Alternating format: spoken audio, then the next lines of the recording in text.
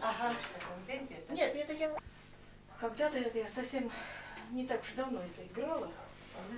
Но или мне вгрызаться, или нет. Или вгрызаться в сидидию.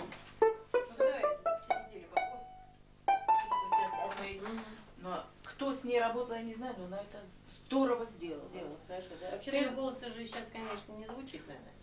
Я давно Ну, они же слышала, не но- занимаются. Ну, не занимаются. Короче говоря, Мгм. кто-то с ней это сделал. Мгм. Это по тексту вот стихотворному. Это очень хорошо. Это было потрясающе. Так Мгм. все сделано, но потом, что мы умеем делать, Ну, то да. умеем. Особенно, когда постараемся, вот как-то Мгм. нас так.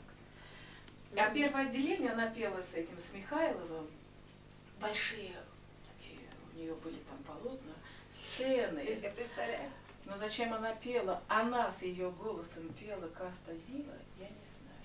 Тем более, что вот эти, когда с флейтой у нее Мгм. начинается, Михайлов, лыка не вязал, он не знал, где он находится.